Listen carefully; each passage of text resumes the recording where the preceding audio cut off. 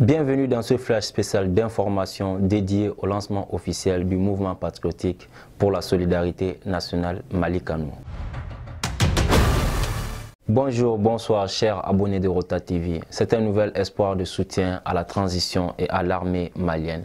En effet, le samedi 25 février 2023 à 9h, le palais des sports Salamata Maïga à Amdalaï Assi Bamako abritera le lancement officiel du mouvement patriotique pour la solidarité nationale MPSN Malikano. Composé d'associations et d'organisations de la société civile et des partis politiques, l'objectif visé par le lancement de ce mouvement patriotique est de soutenir la transition et les forces de défense et de sécurité de notre pays.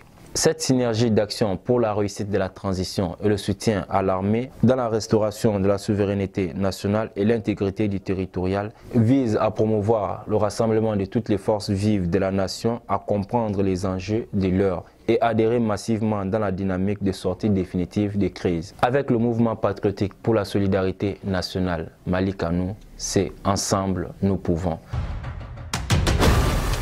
C'est ainsi que prend fin ce flash spécial d'information. Je vous remercie d'avoir été attentif.